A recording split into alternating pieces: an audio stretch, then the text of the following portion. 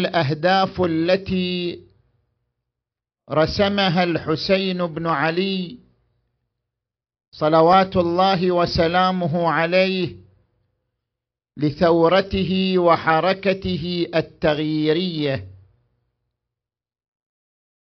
إن هناك مجموعة من الأهداف خطط لها الحسين ورسمها الحسين عليه السلام بحركته وبجهاده ودمه. الهدف الأول حفظ العزة للدين الإسلامي.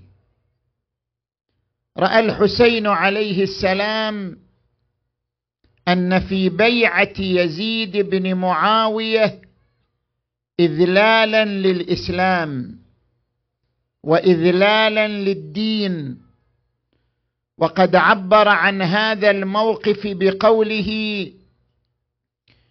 يا أمير إن يزيد رجل فاسق شارب للخمر قاتل للنفس المحترمة ومثلي لا يبايع مثله وعبر عن هذا الموقف بقوله ألا وإن الدعي ابن الدعي قد ركز بين اثنتين بين السلة والذلة وهيهات منا الذلة يأبى الله لنا ذلك ورسوله والمؤمنون وجذور طابت وحجور طهرت وأنوف حمية ونفوس أبية أن تؤثر طاعة اللئام على مصارع الكرام.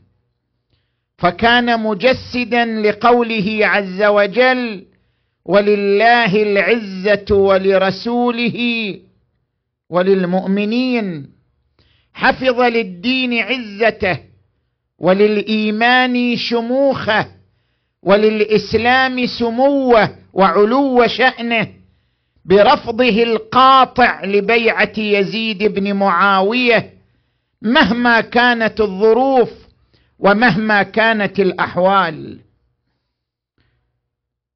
الهدف الثاني الذي تطلع إليه الحسين بن علي صلوات الله وسلامه عليه تحريك إرادة الأمة. الأمة في زمن معاوية ماتت إرادتها خمد ضميرها استسلمت للواقع الأموي تخدرت إرادتها. أراد الحسين أن يعيد لها نشاطها أن يعيد لها ضميرها أن يحرك إرادتها نحو المطالبة بحقوقها. فما وجد طريقا لتحريك إرادة الأمة وبعثها من نومها ورقدتها إلا بإراقة دمه الطاهر.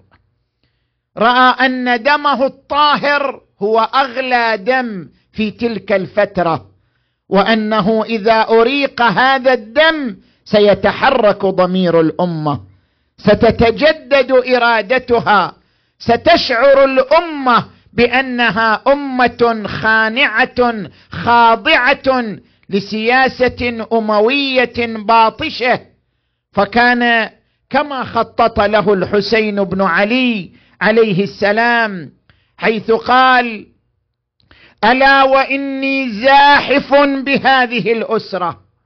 أنا مقدم لدمي مقدم لأسرتي. ألا وإني زاحف بهذه الأسرة.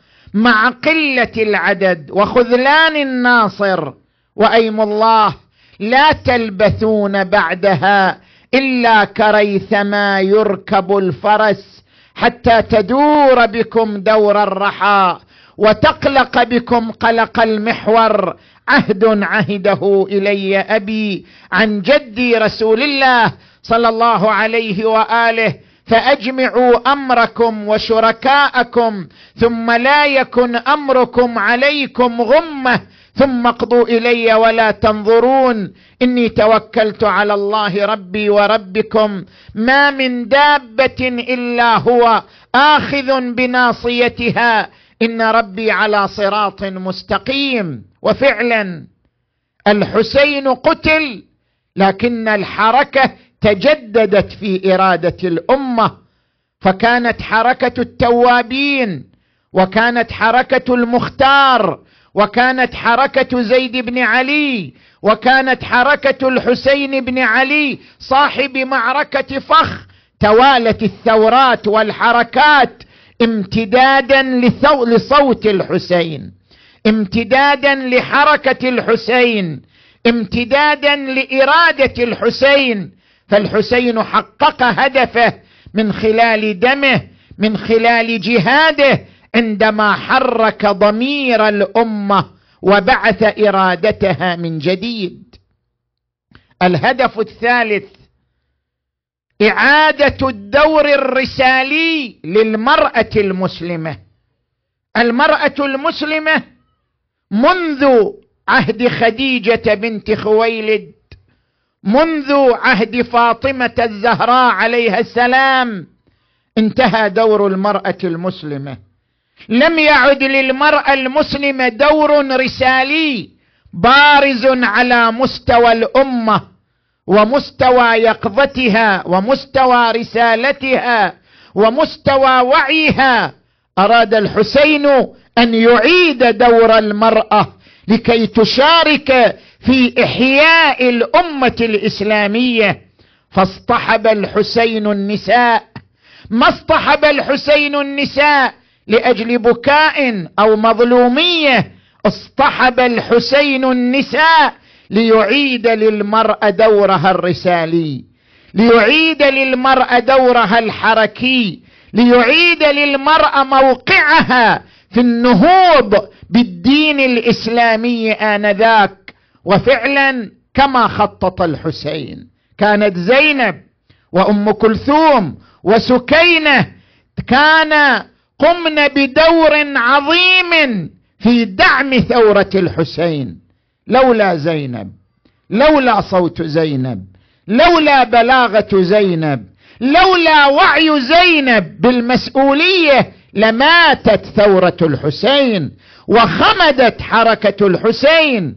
لكن زينب بوعيها لأهداف الثورة ببلاغة منطقها بقوة حجتها بشموخها بتجسيدها لصبر أبيها المرتضى وإرادة أمها الزهراء وعبادة جدها المصطفى فضحت خطط الأمويين ومكائدهم وواجهتهم مواجهة علنية دامية إلى أن حركت الضمائر وحركت الإرادة وقالت ليزيد بن معاوية أظننت يا يزيد حيث أخذت علينا أقطار الأرض وآفاق السماء أن بك على الله كرامة وبنا عليه هوانا فشمخت بأنفك ونظرت في عطفك جذلان مسرورا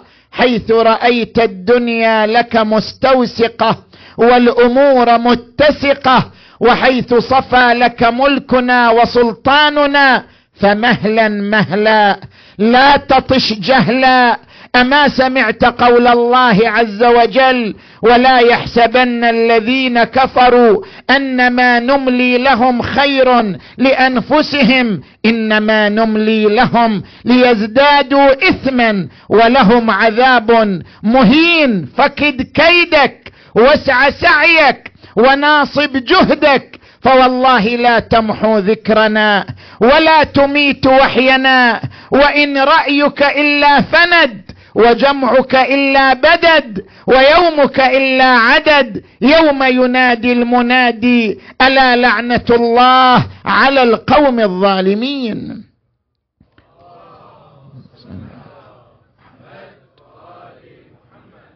الهدف الثالث الذي أراده الهدف الرابع الذي أراده الحسين ابن علي. نشر مظلومية آل رسول الله. هناك مجموعة من الروايات الواردة عن أهل البيت. الإمام الرضا عليه السلام يقول يا ابن شبيب إن كنت باكيا فابكي الحسين. الإمام الرضا عليه السلام يقول إن يوم الحسين أقرح جفوننا وأسبل دموعنا وأذل عزيزنا بأرض كرب وبلاء. الإمام الصادق يستقبل ذا الرمة يستقبل السيد الحميري لرثاء الحسين. الإمام الرضا يستقبل دعبل الخزاعي لرثاء الحسين. لماذا هذه الروايات كلها التي تحث على البكاء وإثارة العاطفة؟ لماذا؟ هذه تحكي هدفا من أهداف الحسين. هذه ترشد إلى هدف من أهداف الحسين. أراد الحسين بحركته أن ينشر مظلومية آل بيت رسول الله. إن في إبادة عترة رسول الله حيث لم يبق منهم أحد لا كبير ولا صغير. إن في إبادة عترة رسول الله رمزا للمظلومية وشعارا للمأساة يتجدد في كل عام وفي كل آن. أراد الحسين من هذه الحركة أن يبقى جرحه نازفا أن يبقى دمه متحركا. حتى كلما مر على الأجيال ذكره تحركت الأجيال ضد كل ظلم. ومقاومة لكل طغيان استعادة من دم الحسين وحركة الحسين. ولذلك ورد عن الإمام الرضا عليه السلام وورد عن الإمام الصادق عليه السلام إن لجدي الحسين حرارة في قلوب المؤمنين لا تبرد أبدا. الهدف الخامس من أهداف الحركة الحسينية حركة الإصلاح. هناك مشروعان متعاكسان ادخلوا داخل الشباب ادخلوا سووا قيام تقربوا خلي يدخلوا الجماعة. تقربوا. تقربوا شوي. اللهم صل على محمد وآل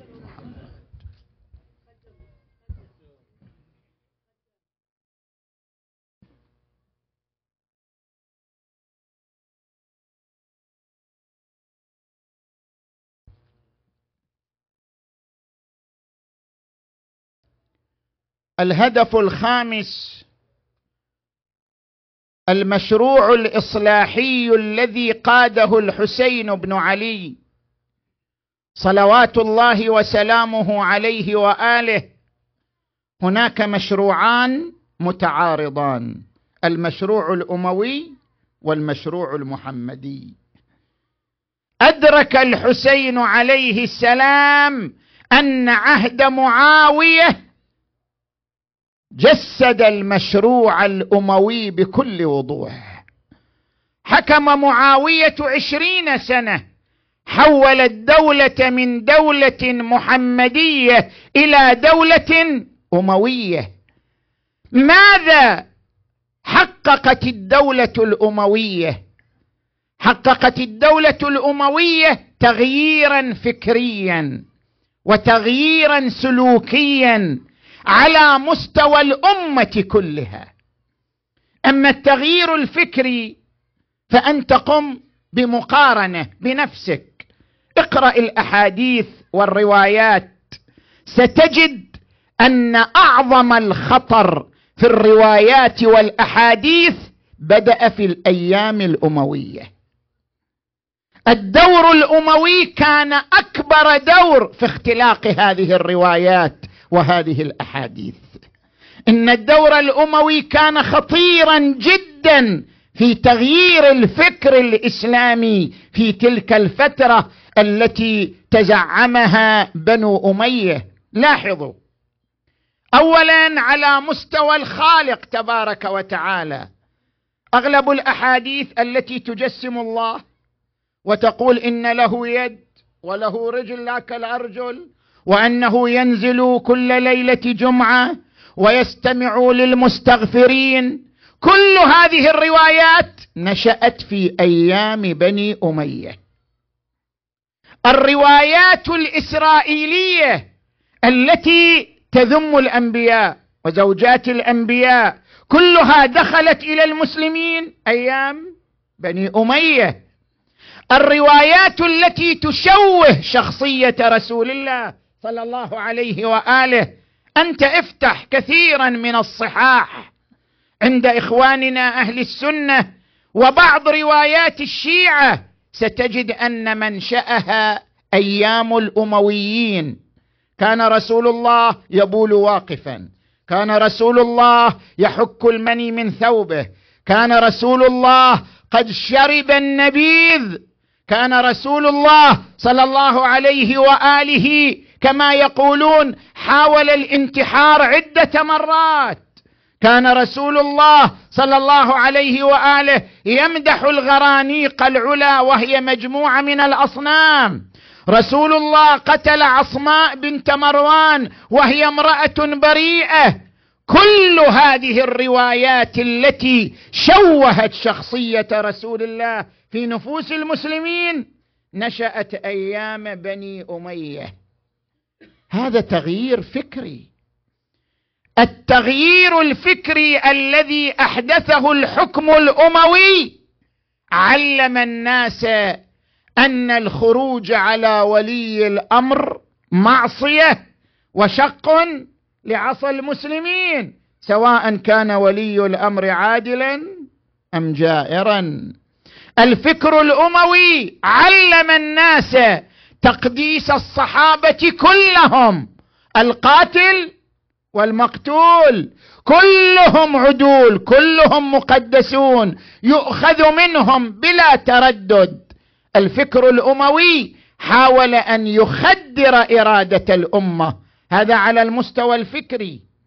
وأما على المستوى السلوكي انتشرت الرشاوى لدى القضاة أيام بني أمية. قتل صحابة رسول الله كرشيد الهجري ككميل بن زياد كحجر بن عدي وأصحابه. في زمان بني أمية استغل الضعفاء انتشرت الطبقية صار الفارق بين الأغنياء والفقراء. فارقا شاسعا قدمت قريش على غيرها قدم العرب على غيرهم قدم الأحرار على الموالي. كل ذلك حدث في بني في زمن بني أمية. اذا المشروع الأموي مشروع خطير. على المستوى الفكري على المستوى السلوكي. لذلك أراد الحسين مواجهة هذا المشروع بكل ما عنده. بمشروع آخر. عبر عنه بقوله. ألا عبر عنه بقوله. ما خرجت اشرا ولا بطرا ولا مفسدا ولا ظالما وإنما خرجت لطلب الإصلاح في أمة جدي. أريد أن أبعث المشروع المحمدي أمام هذا المشروع الأموي. ثقوا. حتى لو تنازل يزيد عن الحكم كان الحسين سيخرج على كل حال. حتى لو فرضنا أن الحسين قيل له لن تقتل وستبقى آمنا كان سيخرج على كل حال. حتى لو لم يحصل على أنصار من أهل الكوفة أو أهل اليمن أو أهل الحجاز كان سيخرج على كل حال لأن له هدفا ساميا ألا وهو مواجهة المشروع الأموي بالمشروع المحمدي مهما كلفت الظروف بقي يزيد أم ذهب؟ حصل على أنصار أم لم يحصل؟ قتل أم بقي حيا؟ سوف يصر على إحياء المشروع المحمدي مقابل المشروع الأموي.